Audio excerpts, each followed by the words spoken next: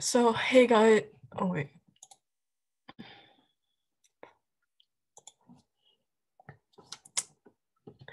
Hey guys, so thank you so much to coming for to our first neuro webinar with Chinmayi Balusu.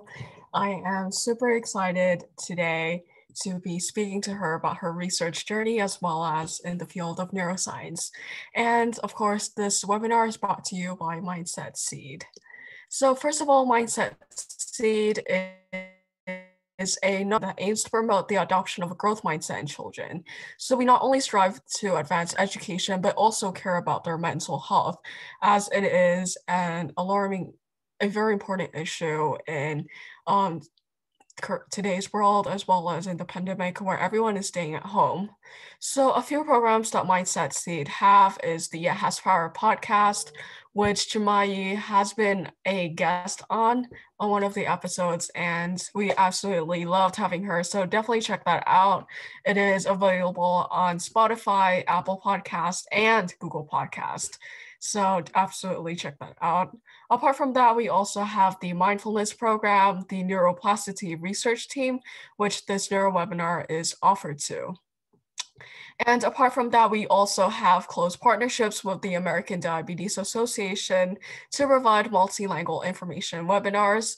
And to check us more out, uh, please visit mindsetseed.org or DM us or visit our Instagram page at mindsetseed. So let's get started.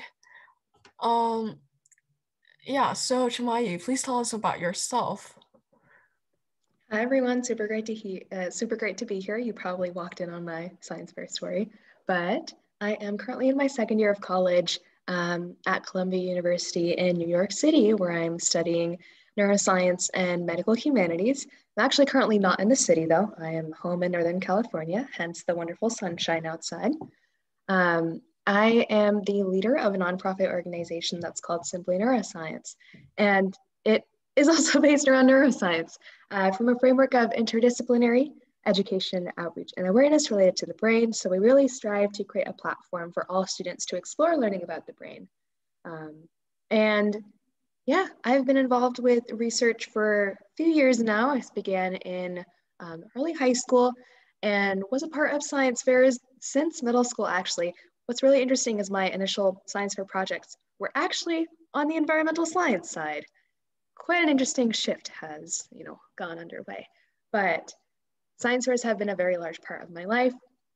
And last year feels like forever ago with the pandemic, but last, you know, May, I had the honor of attending the International Science and Engineering Fair as a finalist representing my regional science fair.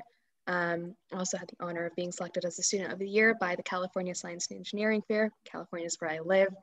Um, and I am really excited, you know, to be here today to share about what my research consisted of in the past, what it consists of now a little bit, and overall, you know, just share some actionable takeaways for you uh, to really get involved with research, figure out what kind of role it plays in your life, and how to really get involved in the process from start to finish. Yeah, absolutely. We're excited to hear about it and, of course, your experience in research. So, for our first question, how did you get involved in research during high school? The big part was identifying um, that I wanted to get involved in a very hands on means of engaging with science content outside of the classroom. And I had been in touch with older students in college and such, and from what I saw, research was really a great way to engage with science in that in that manner. So the first step was sort of understanding, you know, what exactly is research? Um, was it kind of like searching information up on Google kind of research? Not quite, right? So understanding, you know, what it consisted of, understanding the importance of the scientific method and playing into the lab setting, clinical setting, or even, you know, dry lab setting as well was really important. So exploring that a little bit um, and getting in touch with older students really helped me understand kind of what to look out for, um, which we can talk about later as well. So the first step was really also trying to identify what exactly I wanted to explore when it came to research. And early high school, around that same time that I was getting involved in research a little bit, was also when I was kind of stumbling across my interest in the brain. So neuroscience, psychology, that was really a driving force in kind of what I was looking to learn about more. Um, I pretty much taught myself neuroscience during high school. I used to self study a lot of times. I was enrolled in Coursera courses online, EDX courses online, all that good stuff.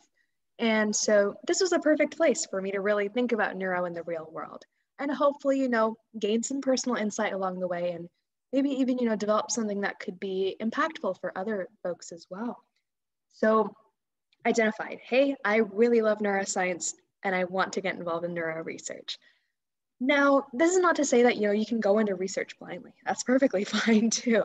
Um, what's also very common is you start out in one path in research, and you completely end up going the other way. Um, throw back to my environmental science to complete neuroscience shift, I still have no clue how and why that happened, but it happened. So it just goes to show you that, you know, you don't have to go out on the path that you initially set out on and kind of getting exposure to different branches in a field or different, completely different fields too is perfectly welcomed in research. So putting that out there, you can feel lost, but know that you want to get involved in research and that's also fine. That's something that you learn a lot about in college is exploring. It's fine to be lost at times. Now, for the actual how did I get involved part, a lot of cold contacting and a lot of searching on Google. We love Google. Why? Is because there is so much information out there that if you use the right keywords, it's available for you just at the touch of your fingertips, right? And it's free. That's something that's not really common to a lot of places. So take advantage of Google tips for keywords that I just mentioned would be high school research programs, summer research programs, summer research internships for high schoolers in California, in Michigan, in New York, wherever. Um, I also recommend checking organizations out. So just search up what are the large you know, science organizations in the United States. And oftentimes, even if they don't have like, formal research internships like you might think of, they may have different research challenges where you can work on developing a project solution with a team of other students. And that also is research in a way. You're working towards something that you know is novel. And that's truly at the heart of any research internship too. So cold contacting and researching, you know, background information gathering too. I mentioned look into summer research programs. It's especially very common for a lot of more structured programs to take place over the summer for high school students. Um, oh, I'm blanking on the name of one. I think it's something along the lines of SSP or SIP. I can't remember. I think Summer STEM student program. Um, I think Dr. Serena McCullough is the one who leads one of the virtual summer research programs. I personally did not, you know, attend. I don't know too much, but there are a number that you can come across in that way. Again, go on Google, my friends. Um, you also don't need to be formally involved with the program or a lab or a university of any sorts to get involved with research. I know a number of students who also, you know, they take um, a question that's popped up and they look into it on their own pretty much. I mean, you can use so many online sources on YouTube, for instance, to learn stats analyses if that's your line, to understand how to format a survey, how to collect data effectively. Science Buddies is especially a very wonderful website resource. So highly recommend that. Um, and to be honest, all of my middle school and early high school projects as well were completely independent. I didn't have support of a mentor really. My teacher would help me out with registering for the science fair, but it was completely on my own. So, you know, obviously, you know, my middle school scale projects is, is completely different from what I'm currently working on at the moment. But at an introductory to intermediate level, it's completely fine to be working completely independently. And along the way, you know, mentorship is super important. So you can you can completely learn on your own. What I believe mentorship can help you with is how to really present your results effectively. How do things come together? Helping you identify gaps in scientific literature, for instance, based on their own expertise. And how does you know how do science fairs and science research fit into the wider schema of things in your career for instance how does it fit into college applications and looking into what you want to major in college and looking into grad school even if that's what you want to do seems like forever away in the future but having a mentor can really help you put that into perspective a little bit think into the long term and research is really something that is meant to be long term one time opportunities are completely okay but it, I think researchers' skills are something that pay off in the years to come. So even if you don't have a good experience, it's still important to not lose sight that the scientific method itself is what it is. So don't, you know, it's, it's difficult to say, but don't let one negative research experience completely change your perspective on you know, being a science student and conducting your own investigations. So, wow, that went quite a long track there. no, absolutely amazing resources. There are science buddies is definitely amazing. Um, yeah, and I cannot agree more. Independent research can be like definitely difficult at times. I did it my sophomore year and now I look uh, for a mentor. So basically just sending emails to professors and it's a different experience, but without my independence research, I don't think I would have gained the experience that I had. So I am absolutely on the same page.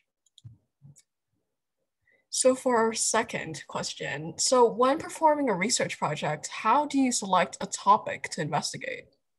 I think we kind of touched on this a little bit briefly earlier. Um, it's really a matter of you take your personal interests and you go out and look for a gap in existing knowledge. That's really easy to say. It's so difficult to actually put into practice. Now, I will provide the example of a project that I worked on previously, which was actually the project with which I qualified for ISEF. And we're going to talk about this a little bit later too um, in this session. But what was going on was that my lab that I was working with um, was looking at the effects of a longevity compound, which means it's basically a drug that can extend lifespan in small organisms, such as mice, yeast, worms, flies. We actually had a fly that we named Eddie, side note. Um, so it can extend lifespan in a number of smaller organisms. And this drug was primarily being investigated in like cardiac muscle tissue, skeletal muscle tissue, um, adipose tissue, which is fat.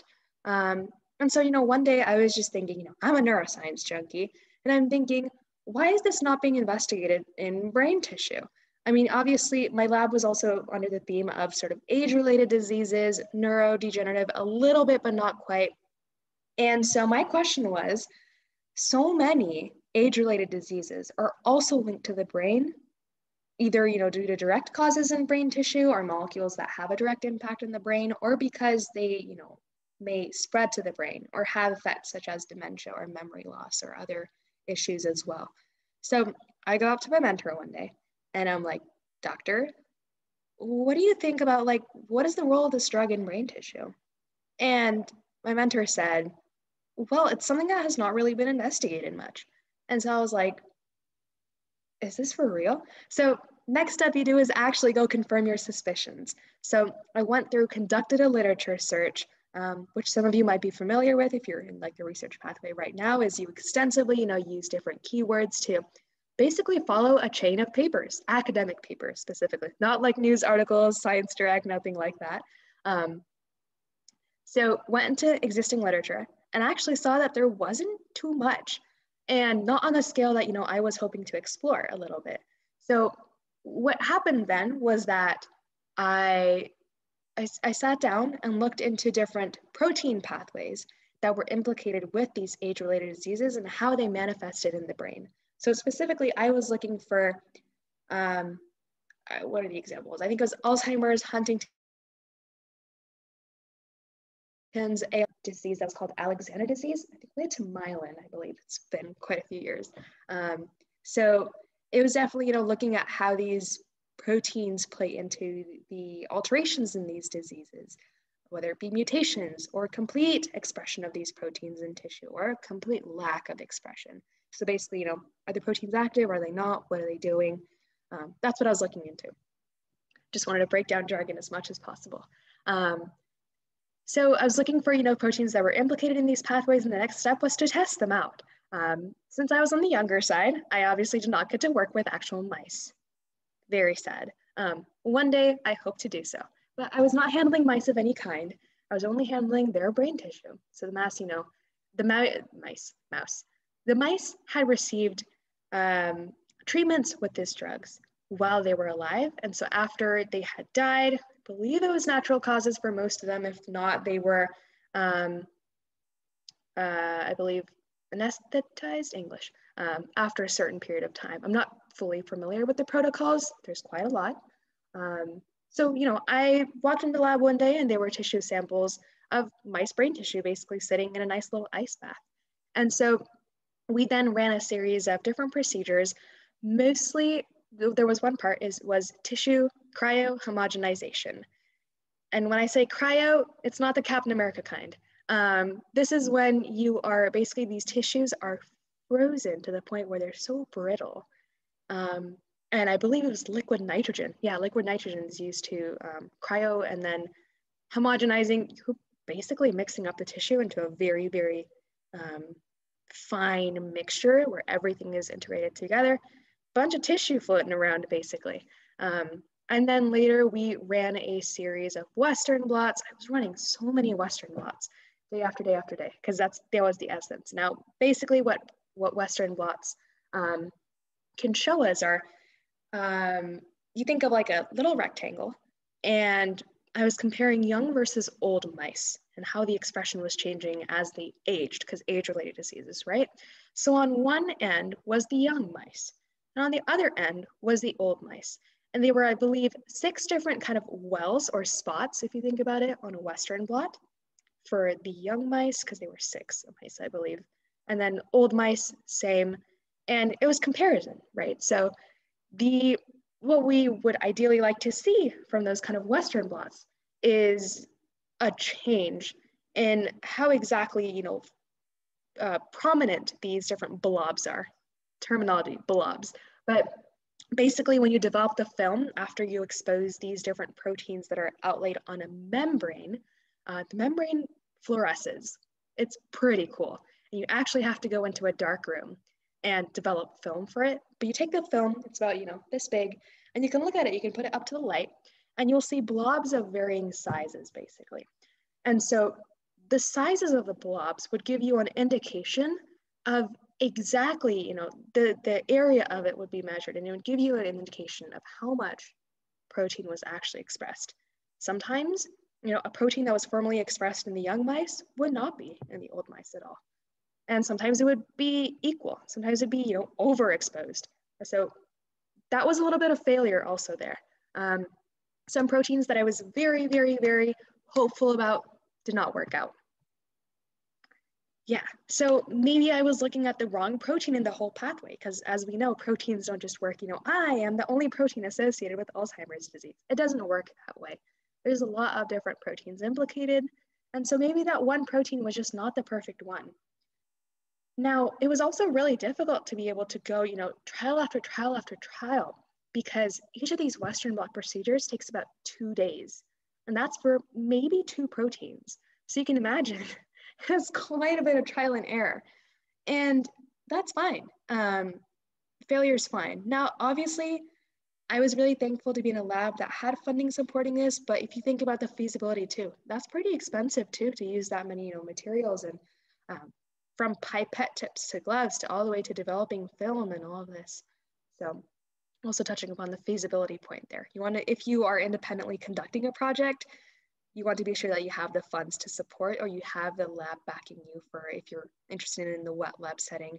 Now, if you're more on the dry lab side or you're interested in computational aspects, data, anything like that, there's so many open access databases out there. It is absolutely wonderful.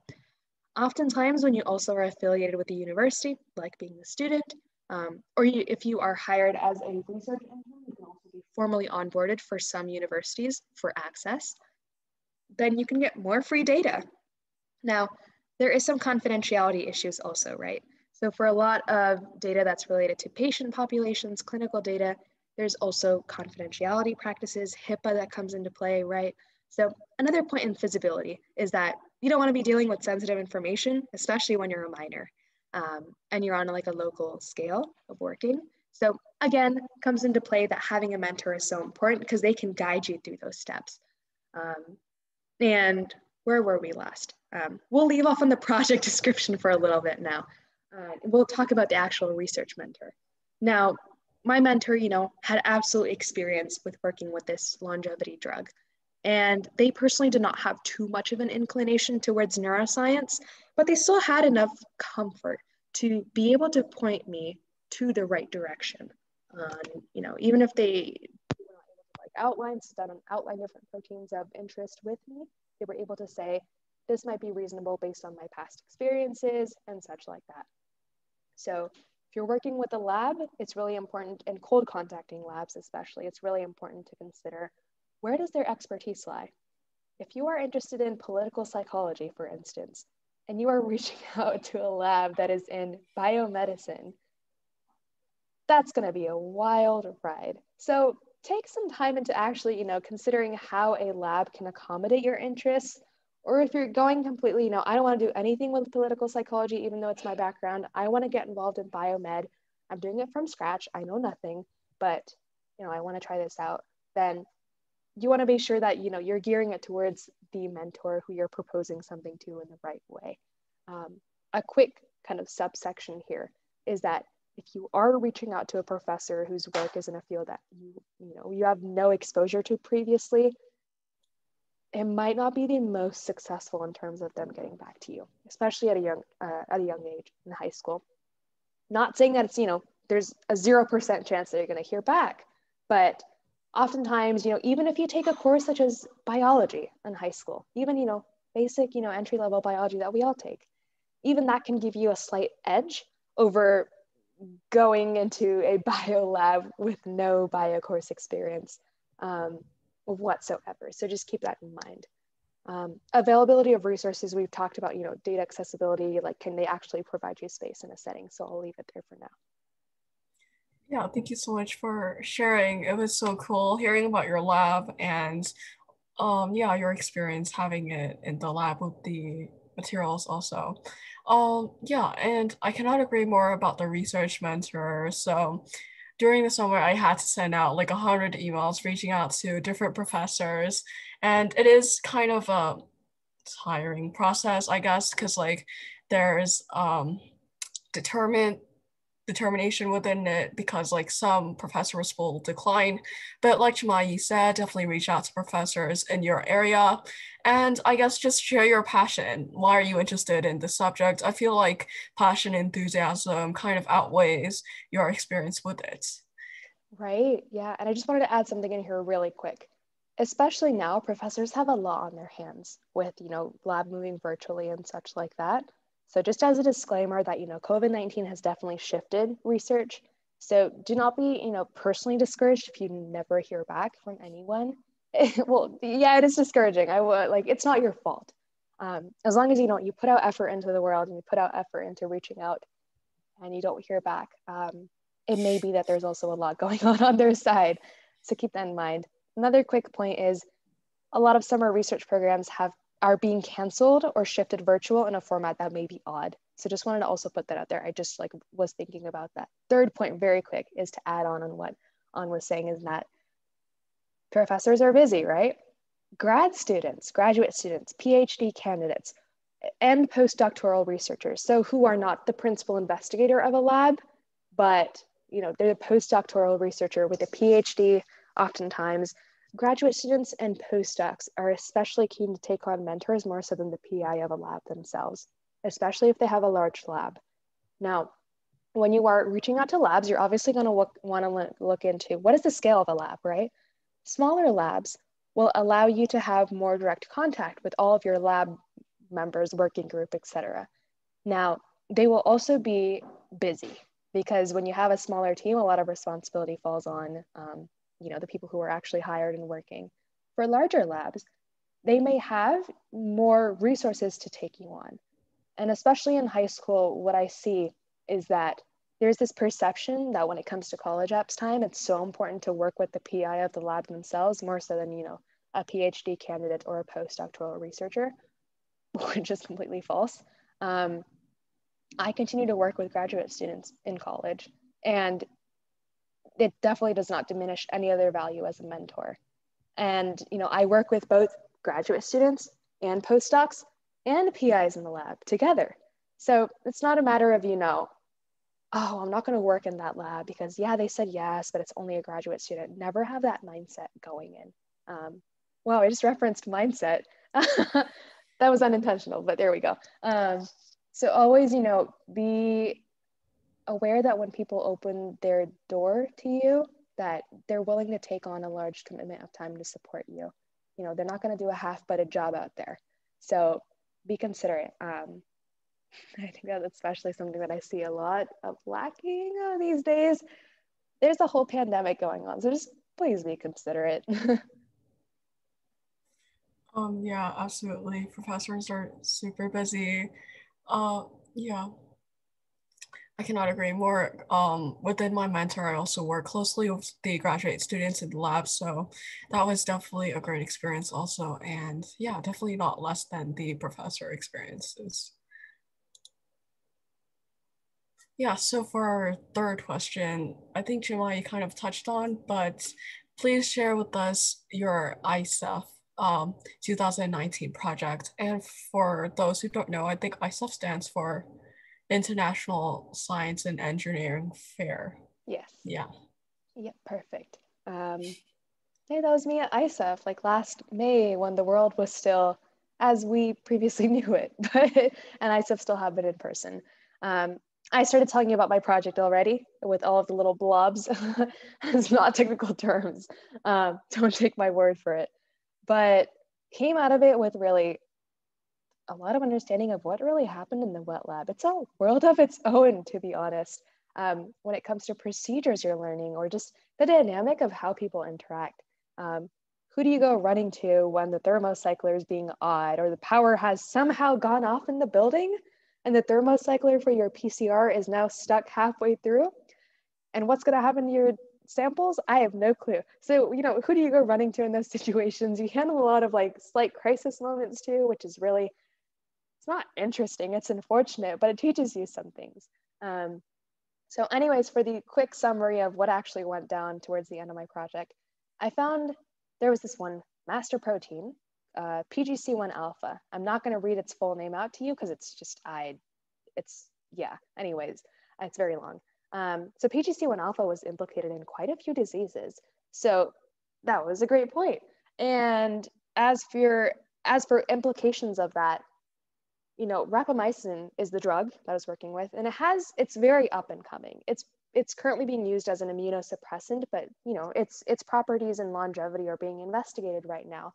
And perhaps it is drugs like these that we're not thinking about too much, at least in the past, weren't thought about too much as related to aging or longevity in any way, that are going to be the somehow miracle drugs that can actually have an impact on maybe it doesn't have to be the cure for these neurodegenerative disease, um, but even improving outcomes, um, improving health of patients, improving, you know, uh, dealing with side effects, anything like that, that can be really important. So that's kind of for the summary because um, like it opened up a lot of lines in terms of other pathways to explore with these diseases. Um, so that's kind of what happened. But this is like on the grand schema of things. That's why it's important. Um, and yeah, this was my, I, I participated with my project at my regional science fair. Um, as per my science fair story in the earlier part, I did not expect at all that I would qualify for ISEF with my project in any way. I was very shocked. I was very shooketh. Um, and it was it was a wonderful journey. Um, you know, I think science fairs at science fairs in general, you know, regardless of local school, ISEF, state, any kind of science fair will give you such valuable exposure that is mm, that is important. It's just important. It's so important. And when you and, and I'm assuming that a lot of you guys are also going to be interested in continuing research into college.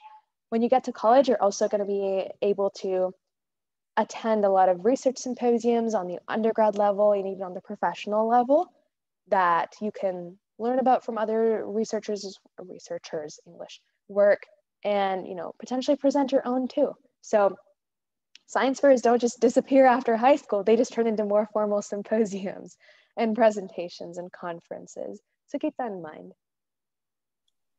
Um, yeah, for sure. Um, this really echoes the theme of like it's a journey, not a destination, for sure.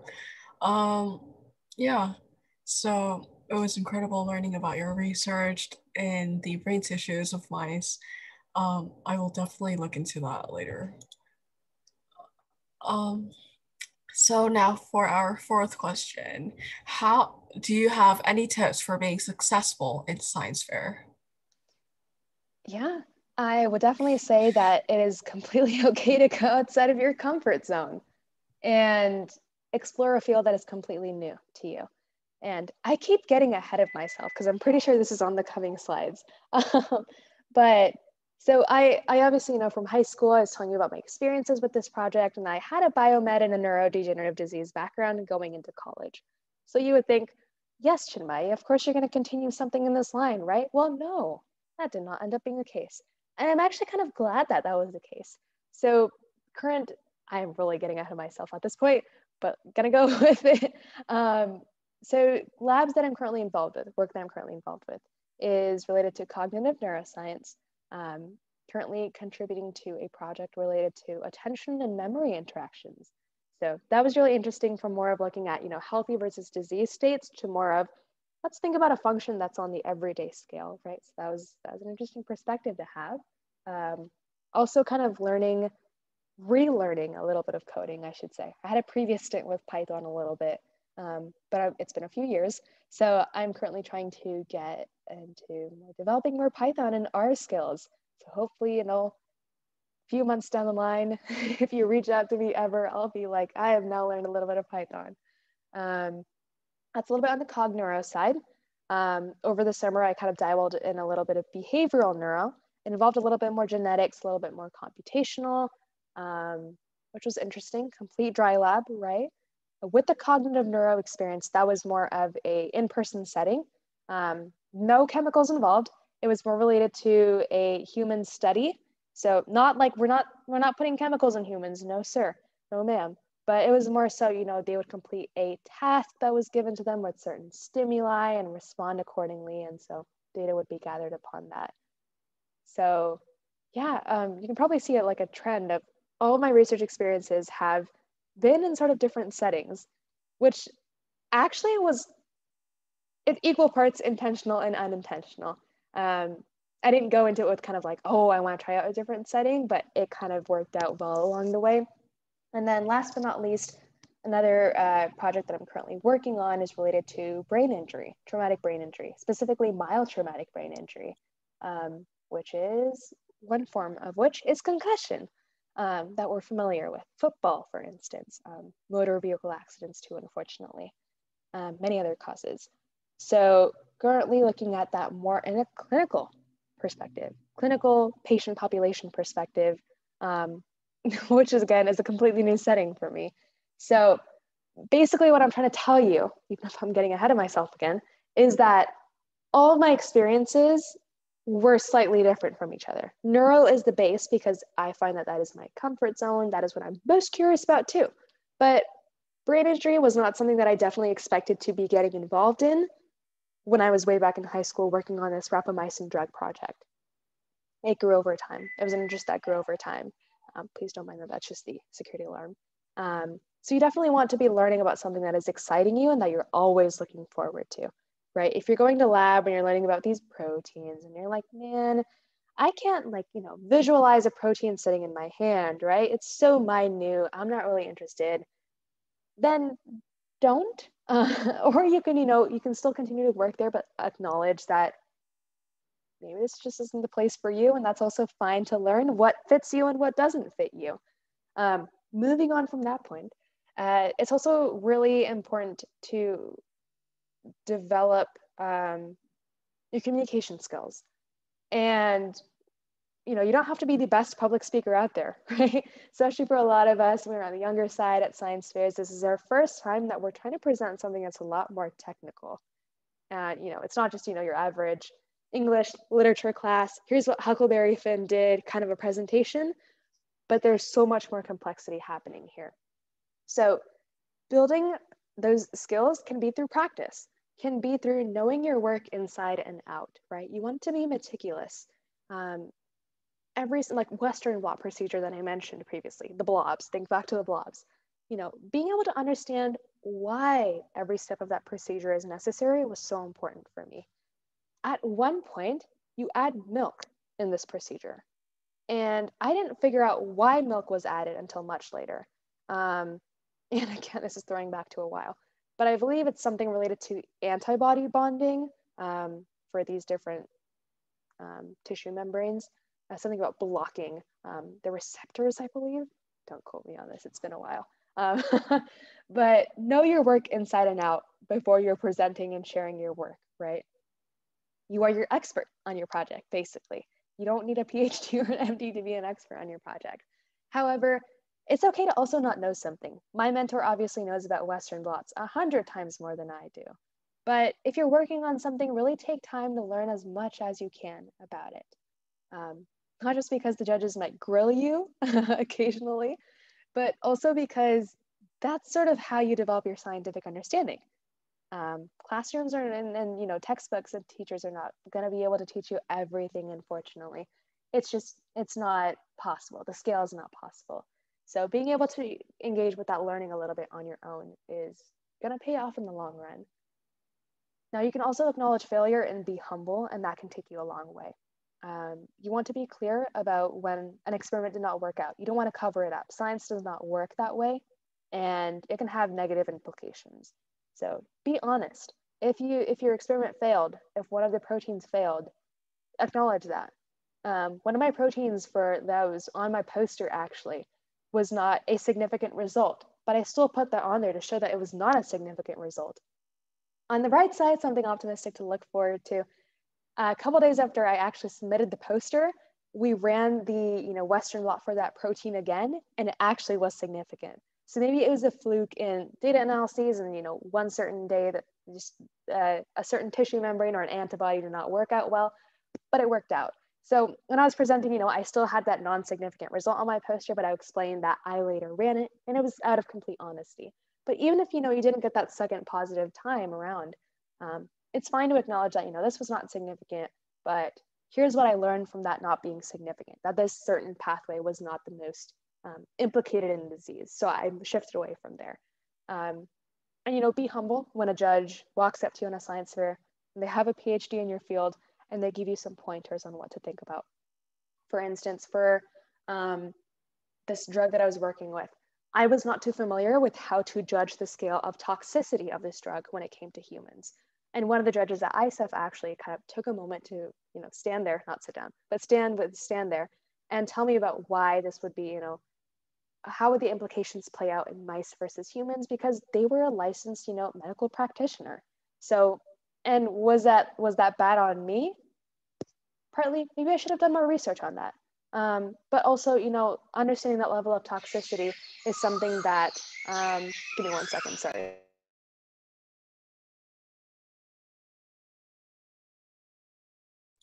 Um, yeah, so while Chinmayi fixes that, um, I cannot agree more with what she is saying. Um, yeah, the science fair can be like a scary experience, like especially if you're not comfortable with public speaking. I had to personally rehearse my presentation like 10 times and I was like so monotoned and I had to like be more excited about my science research, my science project, yeah. Uh, so shifting it back to Chinmayi's. I'm back. Sorry about that. My my mom's phone just went off, and I was like, "Oh, it's way over there." um, so yeah, I completely agree with your point. Um, it you can sometimes go off into like a monotone drive when you're talking about really technical aspects because you're like, yeah, formal, you know, science, technical. Um, but I think you're, oh my gosh, um, I can just mute this, but your enthusiasm comes through and let it shine through um, you're doing cool science. That's pretty cool. So, really, you know, let that shine. Talk about why this project excites you too. When people ask you, why did you do this project specifically, you can share about how you're excited about this and what it means for you in the future, you know, your future career plans, how it fits in, all of that. And since we know getting close on time and I want to make sure there's space, um, you can also, you know, absolutely feel free to network as well at science fairs. This is the first exposure that you get, like I mentioned. In the future, you might be going to conferences. So practice networking with fellow young scientists. And I kid you not, you will likely meet some of these people another time in your lifetime. Um, I have met virtually and both in person so many folks from regional, state, and ISEF. Some of them are actually my closest friends when I met them second time again. Um, so it's a bond. So let's keep that in mind too.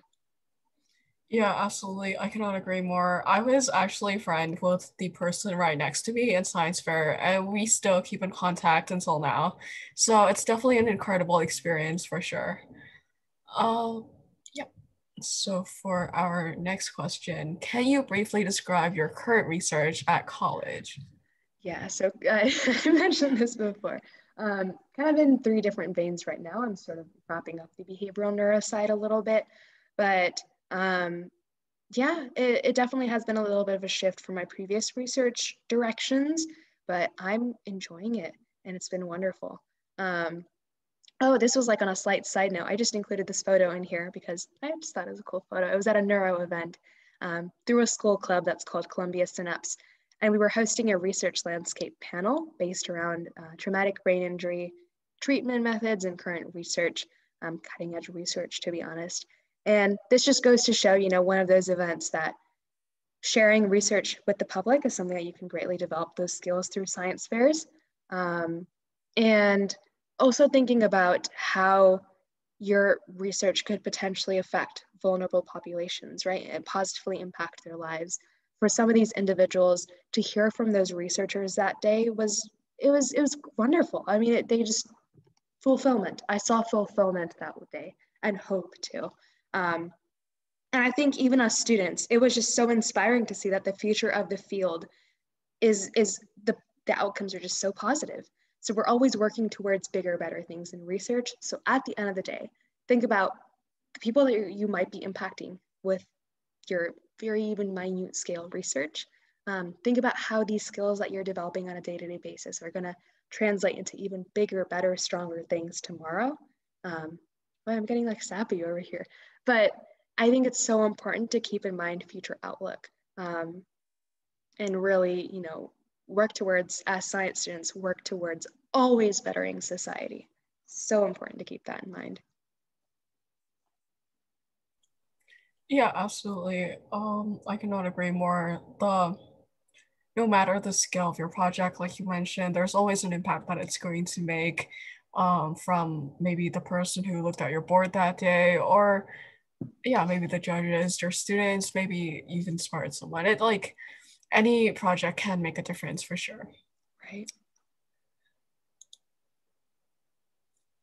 Um, yeah, so for our next question, what do you think are the differences or similar similarities between research in college and high school? Mm-hmm.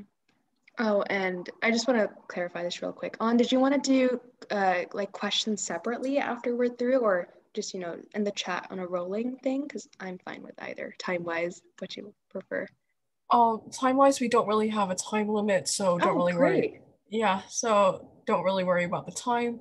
Uh we will have a q&a session if anyone has any questions at the end awesome thank you i know some webinars were like one hour short and i can perfectly stay over as well so wonderful um, keep rolling on uh, there on some levels, it's very similar in, in both um, educational aspects.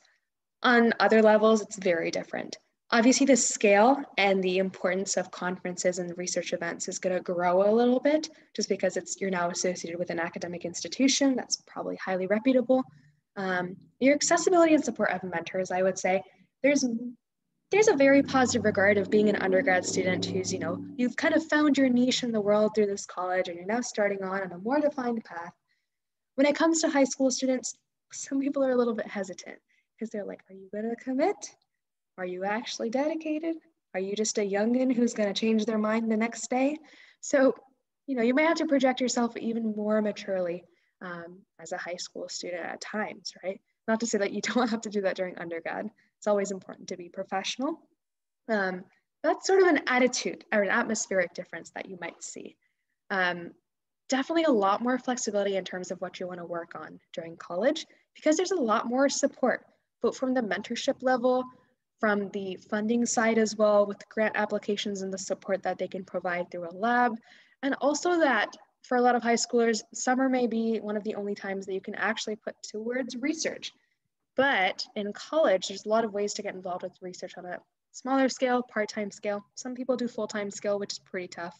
Um, but it's a lot more flexible to what you want to get out of it. And the big attitude difference, and this is for college overall, is that you're now an adult. So you determine your own schedule. And your research mentors will probably adhere to that kind of a common sense thought in the mind that you now have an independent life in consideration. So what you put into it is what you're going to get out of it. So you're not going to be babysat in college, basically. And you know, there's also a lot more ability to focus on independent research much more. A lot of mentors are, I see that the kind of culture shift is that they want to actually help you build something that is meaningful. And many are also helping students to develop a skill that they can place on their CV, for instance, for graduate schools and medical school applications. And there's also the ability to, for some colleges, you can apply to conduct a senior thesis research proposal. So in the last two years, the last year of your schooling in college, um, you can focus on an independent research project under the supervision of a faculty mentor for your senior thesis. So that's something that you know is built into the curriculum. You can opt into it, and you might get it with honors at the end of your bachelor's degree too, which is really cool. Oh yeah, so that's definitely really amazing to hear. Also, I'm a junior right now, so I definitely look forward to doing research in college as well as taking my interest further for sure. And so lastly, can you share with us the research opportunities and or resources offered by Simply Neuroscience? Yeah, of course. So just as a brief recap, because you're like, what is Simply Neuroscience?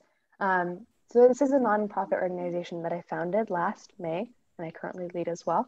Um, it's, as the name says, once again, it's based on neuroscience. So as for research, we are currently hosting a research fellowship program that is geared towards undergrad students, and this is in collaboration with two, under, two other wonderful organizations. Um, we may be opening up future cohorts in the spring as well, but this is primarily going to be undergrad geared for the time being. However, um, we are looking to build an advising program that will be coming up soon. Our tentative launch date is about February 1st, I would say. So I would recommend, you know, keeping that in mind that this advising program will likely also kind of give you an option to explore research interests. Maybe not culminating in a project, but you will be able to talk about research more and chat about guidance a little bit more with a advisor who is a someone with a bachelor's degree or above. Um, so I'll maybe graduate student, maybe industry professional, maybe a researcher, maybe a medical student, anyone in that lines. So, um, you know, and this is for you. Um, this is definitely a lot of time that we're investing. Um, I've probably put in like 15 hours this week to try to get this together. Um, so this is something that we're definitely all pouring our heart and soul into, and we would absolutely love for you to take advantage of when it rolls around. So I would recommend, you know, I put this link on here, and this is the SN newsletter, uh, SN for the organization's name. So when the time comes around and we make the big formal announcement, you're going to hear about it through the newsletter if you sign up.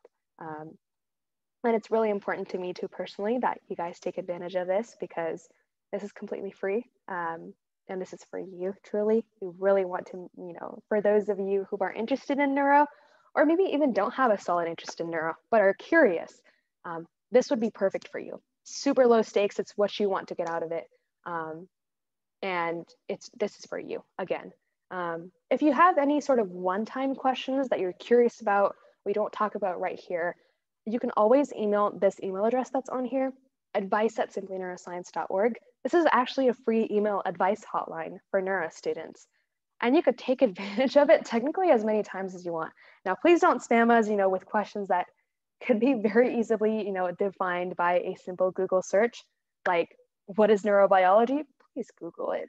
But any sort of questions about i'm having trouble deciphering you know this research mentor's website or like trouble approaching them what to ask um, things like that we can try to help you out with so putting that out there as well and last but not least we have free educational content you know to self-study with on our website simplyneuroscience.org and if you are you know interested in seeing some educational neuro content on our on your feed once in a while um, we regularly actually do research features.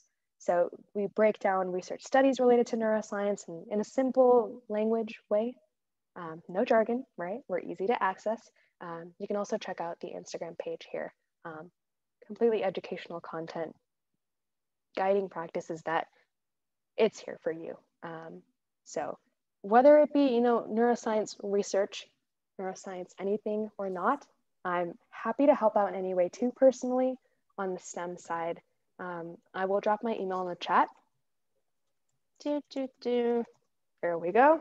You can email me um, and I can hopefully, you know, provide you some support as well. I'm always happy to support younger students, especially science enthusiasts, science for buddies, anyone. So take, please take advantage of as much as we can offer, whether it be me personally or my organization. Oh, yeah. Oh, absolutely. Um, I went to your website and there's definitely a lot of amazing resources. Um, you mentioned this, the educational resource. I saw that there was a Quizlet to prepare for like um, neuroscience or brain competitions, and that was definitely um, great to see. And there's also a podcast, which is um, definitely cool to check out also. Oh, this reminds me very quick. Um, the podcast, which is called The Synapse, so the Synapse, um, they have a series that's called the College Neuro Network series. And it basically interviews individuals, undergrad students, and professors at various universities or who have graduated from universities um, for a little bit of insight into what neuroscience looks like in colleges. Um, totally not biased. Um, I, I shared about my experiences at Columbia on one of the episodes, but also, and one of, one of my research mentors actually, um, one of the other ones who's featured from Columbia but a lot of universities are, you know, the team is trying to cover them and provide insight into. So, you know, again, another resource for you to take advantage of if you are so inclined. Thank you, on for thank you for reminding me of that. Oh, yeah, absolutely. Um, so definitely check out that. It sounds really cool for sure to look into the college experiences. So I think this exhausts the slides. So if you have any questions, feel free to unmute yourself or leave it in the chat. No question is ever a bad question. Yes.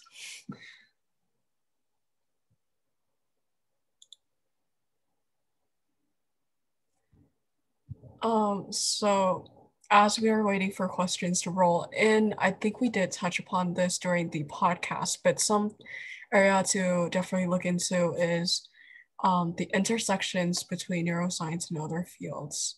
So I would love to hear some of your input on that for sure. Of course. So you can obviously tell that I'm on the neuroscience train like every single day, every single minute. And this, you know, is not just because I love learning about the brain, but because I'm, I, this is not cliche in any way. I honestly wake up every single morning and I'm in awe of how wide neuroscience is, how diverse it is. And it's, it's honestly incredible. and why it's incredible is that neuroscience is truly for everyone in so many aspects because you don't necessarily, you know, we're focusing on science fair here, right? I'm assuming that a lot of you guys are maybe STEM heavy, research heavy, right? But you don't necessarily need to be a science junkie in order to be in neuroscience. Some random car over there, um, the post guy. But anyways, um, it's really open to everyone because there's so many branches involved in neuroscience. And to name off some examples that I think are really, really cool, there is um, consumer psychology, the neuroscience behind why we purchase certain things, for instance, why we're driven to perceive things in advertising, for instance, um, in graphic design, too, for instance. Um, why are some logos effective while others are not? That is also neuroscience. Um, there's neuroethics. When is a person, you know, brain dead is something that is determined by neuroethics, and maybe even the intersection with neuro law, which is, you know, you might be considering decisions about induced coma and the effect on the brain or brain death in the, in the span of a courtroom. How does that play into legal decisions? Um, there's also neuro art, for instance, for us more art, artistically inclined folks. I, I, wish I was, but I'm not. um, science journalism, neurobiology is one that maybe some of us are inclined to. Um, just so many fields overall. Political psychology, I mentioned before. Did I mention before? I think I mentioned before. Uh, political psychology too. So I strongly think that, you know, you don't have to be a science kid to be a neuroscience kid. So that's sort of my perspective. And, you know, I think we have a question in the chat. Um, yes. Uh, yeah. From, I'm sorry if I mispronounced your name, Rashida from Rashida. So what kind of careers or jobs could a research path lead to? And are jobs in the research field only in labs or is there anything else? Great question, by the way. That's a really, yeah, I, I didn't say nope to the question, I just realized. Um, that is a wonderful question. And the answer is you don't just have to work in the lab. Um, one of my mentors, I, I have so many wonderful mentors in my life. So I, I just realized that um, there are multiple people. Um, I'm referring to one person. Uh, so my mentor is a medical professional. She has a MD degree, but she's also involved in research. And her research focuses more on the clinical side. And she's actually who one of the people who is mentoring me for my brain injury research at the moment. Um, she doesn't have a PhD degree, but she's still involved in research, right? And that's one route. She she is a doctor. She actively practices, and she is. She's. Oh, I, I don't. Hmm. I actually don't believe that she currently works in any wet lab settings at the moment. More of you know, uh, clinical side uh, enrolling patients uh, studies, for instance, that too is related to her area of expertise a little bit. That just goes to show, you know, a research path could lead you to medicine, which is one of the more common routes alongside a PhD program. So academia, professors at universities, for instance, or excuse me, private research institutions.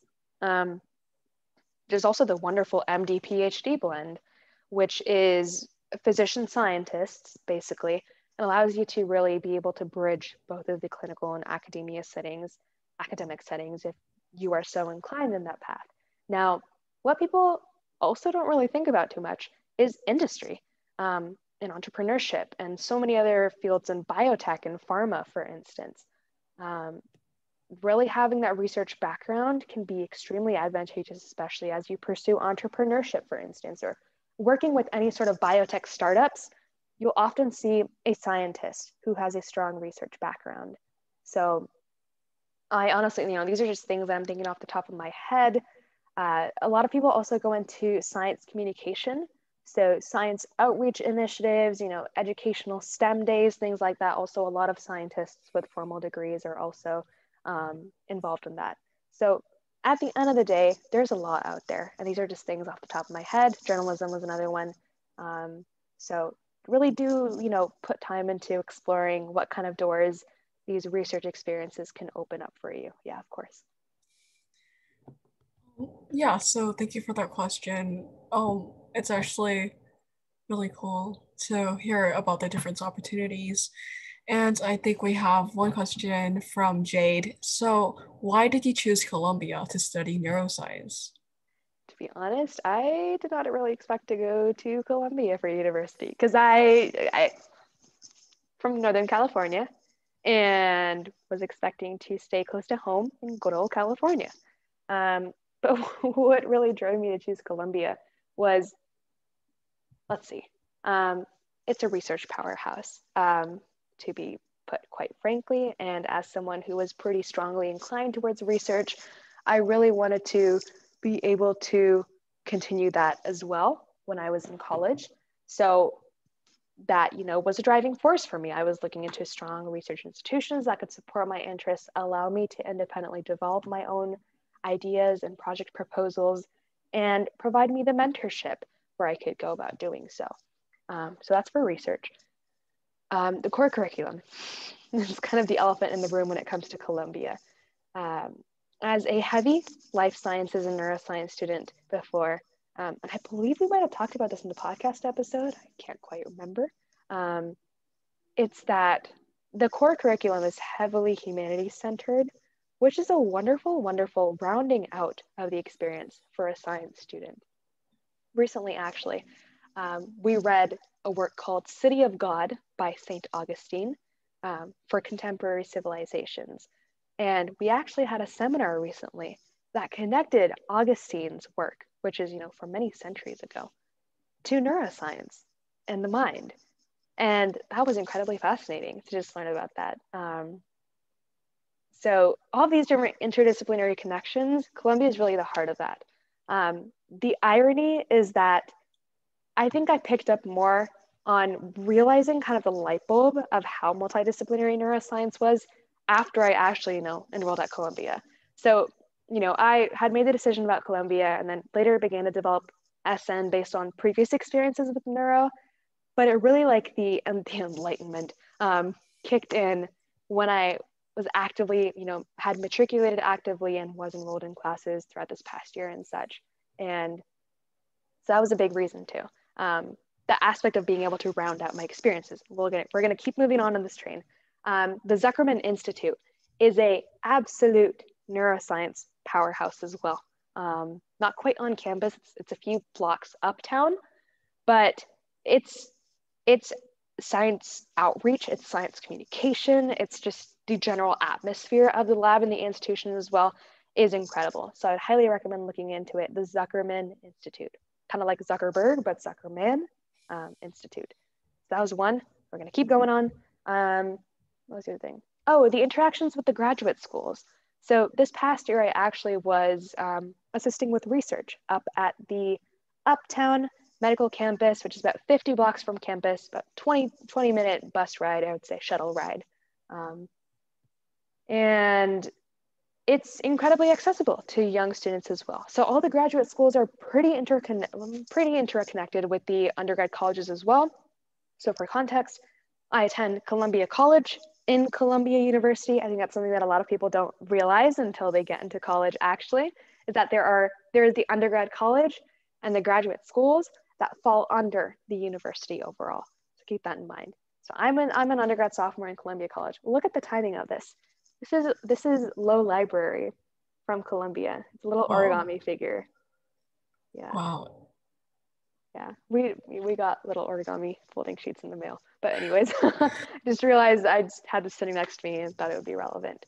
So considering all those graduate school interactions as well, I've definitely been able to interact with a variety of neuro students and professionals and gain access to, you know, a medical school that most colleges, it would be far off of campus, maybe quite a few miles away. And, you know, this is just a 20 minute Columbia shuttle right away. So, and also the fact that there is a Columbia shuttle, they're really trying to increase, you know, uh, communication and movement with physical and literal, um, physical and metaphorical um, between these different schools as well.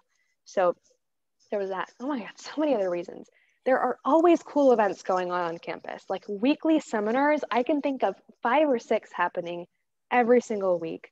Um, that just, you know, you can pique your interest and go to whatever you wish to go to. Uh, people were incredibly driven to learn, driven to learn. Um, the atmosphere was welcoming and people were there because they wanted to build themselves into stronger, better people and not just, you know, there for the school of having to attend school because the law decrees it. So I think those are those are big reasons.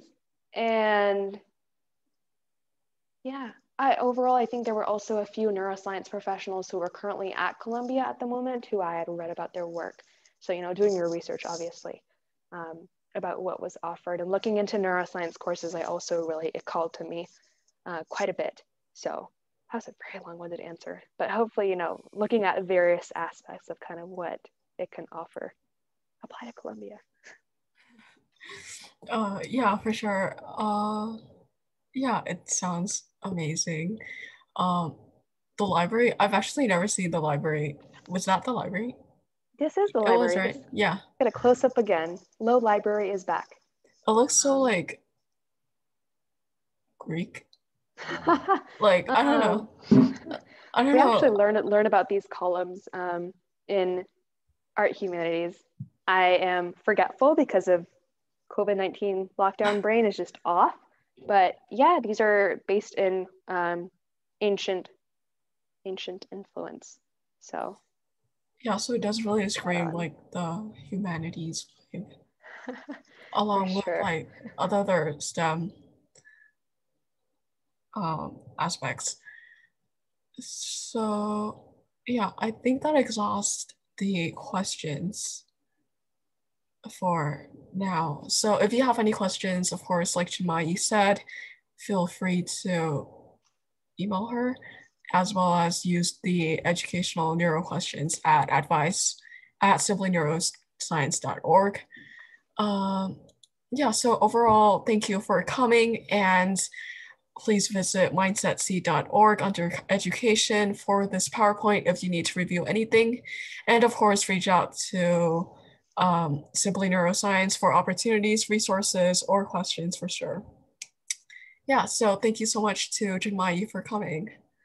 Yeah, wonderful sharing about research with you guys. It's always super fun to talk about. Uh, yeah, so thank you. And yeah, sorry, I'm being so awkward right now. Uh, it's a Friday evening, it's fine. My brain is, yeah. yeah.